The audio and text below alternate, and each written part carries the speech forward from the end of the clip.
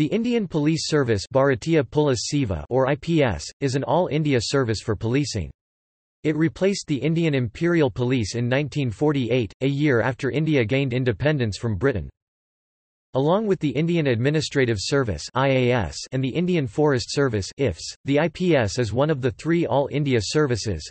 Its cadre can be employed by both the union government and the individual states. The service is not a force itself but provides leaders and commanders to staff the state police and all India Central Armed Police Forces. Its members are the senior officers of the police. The Bureau of Police Research and Development is responsible for research and development of the police force in India. History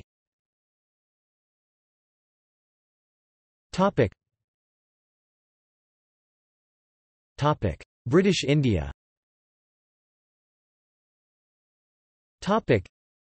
in 1861, the British government introduced the Indian Councils Act, 1861.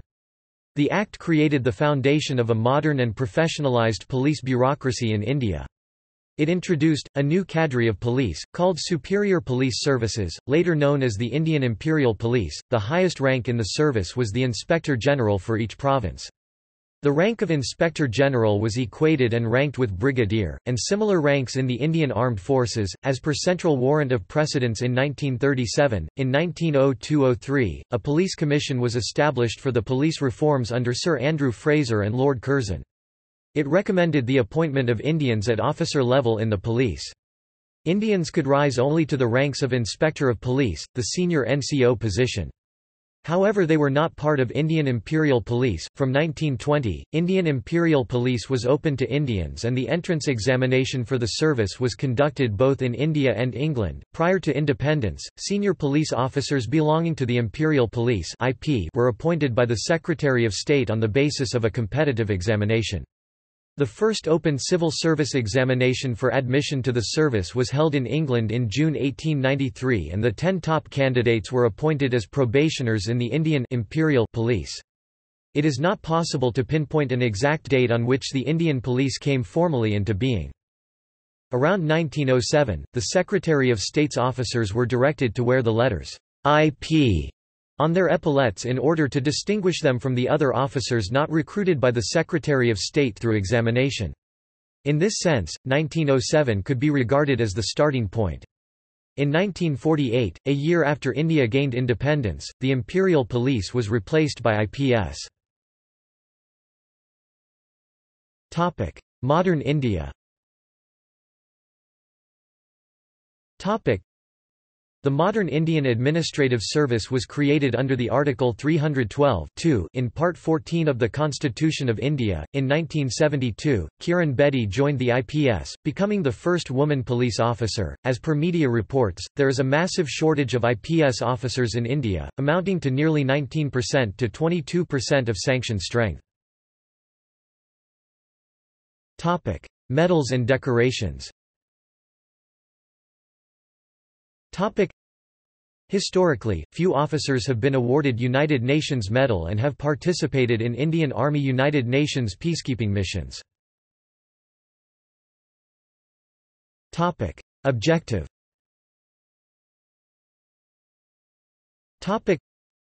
the first police commission, appointed on 17 August 1865, contained detailed guidelines for the desired system of police in India and defined the police as a governmental department to maintain order, enforce the law, and to prevent and detect crime.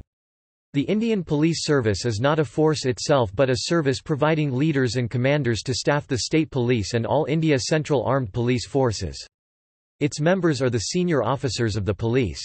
With the passage of time Indian Police Service's objectives were updated and redefined. The current roles and functions of an Indian Police Service officer are as follows, to fulfill duties based on border responsibilities, in the areas of maintenance of public peace and order, crime prevention, investigation, and detection, collection of intelligence, VIP security, counter-terrorism, border policing, railway policing, tackling smuggling, drug trafficking, economic offences, corruption in public life, disaster management, enforcement of socio-economic legislation, biodiversity and protection of environmental laws etc.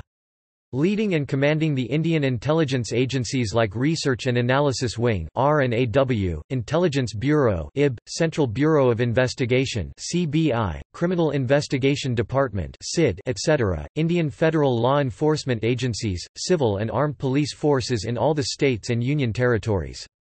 Leading and commanding the Central Armed Police Forces which include the Central Police Organizations such as Border Security Force BSF, Central Reserve Police Force CRPF, Indo-Tibetan Border Police ITBP, National Security Guard NSG, Central Industrial Security Force CISF, Vigilance Organizations and Indian federal law enforcement agencies to interact and coordinate closely with the members of other All India services and with the Indian Revenue Service and also with the Indian Armed Forces primarily with the Indian Army.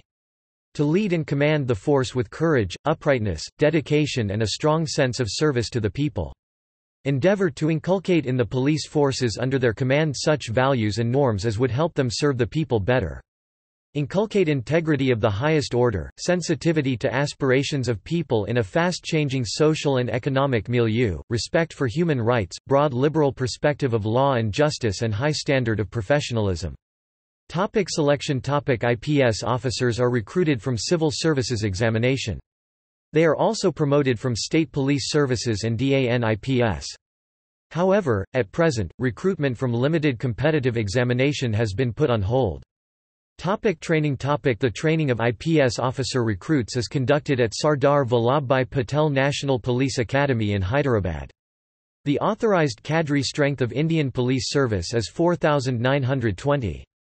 3,270 direct recruitment posts and 1650 promotional posts. The civil list of IPS officers is an updated annual list maintained by the Ministry of Home Affairs, Government of India that lists the posting details of all IPS officers in India. This civil list can be accessed from the MHA website. It allows searching for an IPS officer on the basis of his, her name, batch or cadre. Topic state cadres topic topic Cadre allocation policy topic The Union government announced a new cadre allocation policy for the All India services in August 2017, touting it as a policy to ensure national integration of the bureaucracy as officers and ensure all India character of the services. Under the new policy, the existing 26 cadres have been divided into five zones in the new policy by the Department of Personnel and Training of Government of India. Under the new policy, a candidate has to first give his, her choice in the descending order of preference from amongst the various zones. Subsequently, the candidate has to indicate one preference of cadre from each preferred zone. The candidate indicates his second cadre preference for every preferred zone subsequently. The process continues till a preference for all the cadres is indicated by the candidate. The preference for the zone's, cadres remains in the same order and no change is permitted. Officers continue to work in the cadre they are allotted or are deputed to the Government of India. Topic: Old cadre allocation policies Till 2008 there was no system of preference of state cadre by the candidates. The candidates, if not placed in the insider vacancy of their home states, were allotted to different states in alphabetical order of the roster, beginning with the letters A, H, M, T for that particular year. For example, if in a particular year the roster begins from A, which means the first candidate on the roster will go to the Andhra Pradesh state cadre of IPS, the next one to Bihar, and subsequently to Chhattisgarh, Gujarat and so on in alphabetical order. The next year the roster starts from H for either Haryana or Himachal Pradesh if it has started from Haryana on the previous occasion when it all started from H, then this time it would start from Himachal Pradesh. This highly intricate system, in vogue since the mid-1980s, had ensured that officers from different states are placed all over India. The system of permanent state cadres has also resulted in wide disparities in the kind of professional exposure for officers, when we compare officers in small and big and also developed and backward states. Changes of state cadre is permitted on grounds of marriage to an All India service officer of another state cadre or under other exceptional circumstances. The officer may go to their home state cadre on deputation for a limited period, after which one has to invariably return to the cadre allotted to him or her. From 2008 to 2017, IPS officers were allotted to state cadres at the beginning of their service. There was one cadre for each Indian state, except for two joint cadres, Assam Meghalaya and Arunachal Pradesh Goa Mizoram Union Territories The insider-outsider ratio ratio of officers who were posted in their home states is maintained as 1 to 2, with one-third of the direct recruits as insiders from the same state. The rest were posted as outsiders according to the roster in states other than their home states, as per their preference. Topic: Career progression. Topic. Topic: Pay structure of Indian Police Service. Topic. Topic: Ranks and insignia. Topic. Though the standard uniform color is khaki, the ranks, posts and designations of IPS officers vary from state to state as law and order is a state matter. But generally the following pattern is observed. Topic: Ranks of IPS officers. Topic: Topic: Reforms and major concerns. Topic: India's police continue to be governed by an colonial police law passed in 1861. The Indian constitution makes policing a state subject and therefore the state governments have the responsibility to provide their communities with a police service. However, after independence, most have adopted the 1861 Act without change, while others have passed laws heavily based on the 1861 Act. Repeated major incidents, latest of them being 2012 Delhi gang rape revealed failure of police to uphold the rule of law. The need for reform of police in India has been long recognized. There has been almost 30 years of debate and discussion by government-created committees and commissions on the way forward for police reform, but India remains saddled with an outdated and old-fashioned law, while report after report gathers dust on government bookshelves without implementation. Many committees on police reforms have recommended major reforms in the police system coupled with systematic accountability. Corruption and fake encounters Recently, several IPS officers were arrested and jailed in graft and corruption cases in recent years. The Appointments Committee of the Cabinet has dismissed few IPS officers for non performance. Some IPS officers have been convicted of fake encounters. Topic: National Police Commission 1977 to 81. Topic: National Police Commission was the first committee set up by the Indian government to report on policing. The National Police Commission began sitting in 1979, in the context of a post-emergency India, and produced eight reports, including a Model Police Act, between 1979 and 1981. Ribeiro Committee 1998–99.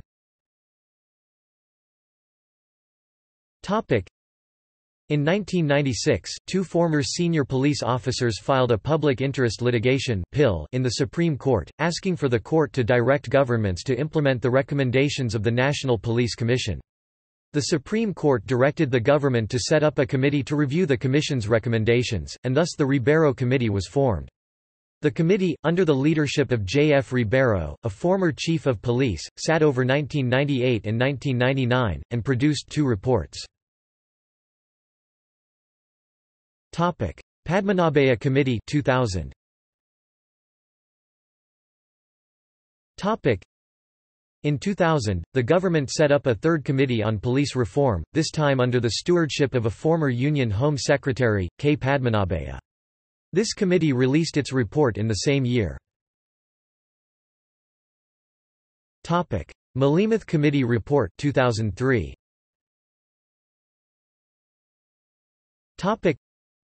The Malimath Committee report submitted in March, 2003 has very articulately laid down the foundation of a restructured and reoriented police system. The committee in its report observed that the success of the whole process of criminal justice administration depended completely on the proper functioning of the police organization especially in the investigation stage. Apart from the investigation of offences, the police also have the duty of maintaining law and order. Soli Sorabji Committee 2005.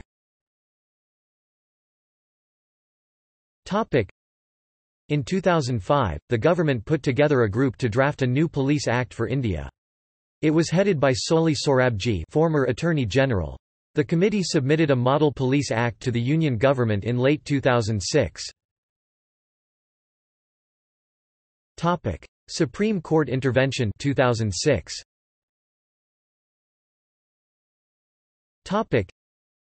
In 1996, Prakash Singh a former chief of Assam Police and Uttar Pradesh Police and subsequently Director General of the Border Security Force initiated a public interest litigation in the Supreme Court of India, asking the court to investigate measures to reform the police forces across India to ensure the proper rule of law and improve security across India. The Supreme Court studied various reports on police reforms. Finally, in 2006, a bench of Justice Y.K. Sabharwal, Justice C.K. Thakur and Justice P.K. Balasubramanian ordered the state governments to implement several reforms in police force. Several measures were identified as necessary to professionalize the police in India. A mid or high-ranking police officer must not be transferred more frequently than every two years. The state government cannot ask the police force to hire someone, nor can they choose the Director General of the state police. There must be separate departments and staff for investigation and patrolling, which will include the creation of a State Security Commission, for policies and direction a Police Establishment Board, which will decide the selection, promotions and transfers of police officers and other staff a Police Complaints Authority, to inquire into allegations of police misconduct. Follow-up from Supreme Court In 2006, due to a lack of action by all the state governments, the Supreme Court ordered the state governments to report to it why the reform measures outlined were not implemented. After being questioned in front of the judges of the Supreme Court, the state governments are finally starting to reform the police forces and give them the operational independence they need for fearless and proper law enforcement. Tamil Nadu Police has been in the forefront of application of the new referendum. Again, in October 2012, a Supreme Court bench of Chief Justice Altamas Kabir and Justices Surinder Singh Nijjar and Jasti Chelameswar asked all state governments and union territories to inform about compliance of its September 2006 judgment. The order was passed when Prakash Singh through his lawyer Prashant Bhushan said that many of the reforms ordered by the Supreme Court have yet not been implemented by many state governments. Topic. See also. Topic. National Police Memorial India. Indian State Police Services. Law enforcement in India. Encounter killings by police. Civil Services of India. All India Service. Special Duty Allowance SDA Union Public Service Commission References.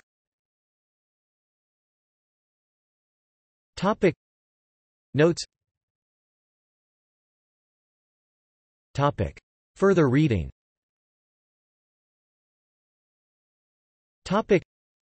History of Services of Indian Police Service, as on 1 July 1966, by Ministry of Home Affairs, India.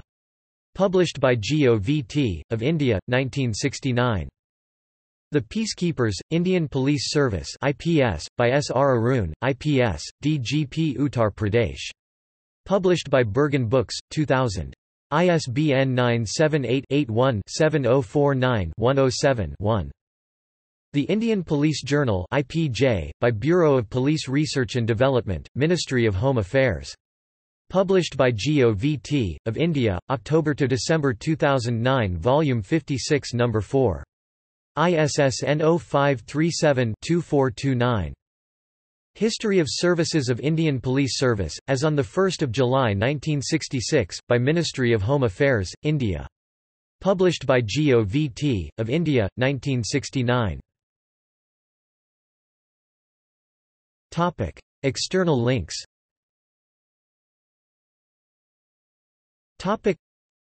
Sardar Vallabhbhai Patel National Police Academy.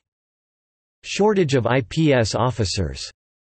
Press Information Bureau. Archived from the original on 30 December 2016.